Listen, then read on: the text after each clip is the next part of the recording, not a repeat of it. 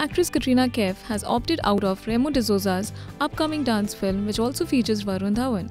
She had to let go of the project due to the hectic schedule of Bharat. Katrina's official spokesperson on Saturday shared the update on the project with a statement. Katrina Kaif had to opt out of Remo D'Souza's upcoming dance film owing to her hectic schedule for Bharat. Katrina has always been a thorough professional. She decided to step out of the film as her dates were clashing with Bharat, which she is currently shooting for. She wishes the team all the best. Read the statement. Touted to be India's biggest dance film, it also stars choreographer, actor, filmmaker Prabhu Deva. At the moment, Katrina has put all her focus on Bharat with stars superstar Salman Khan. She joined the project after Priyanka Chopra's exit. Being held by Ali Abbas Zafar, Bharat is slated for an Eid release in 2019.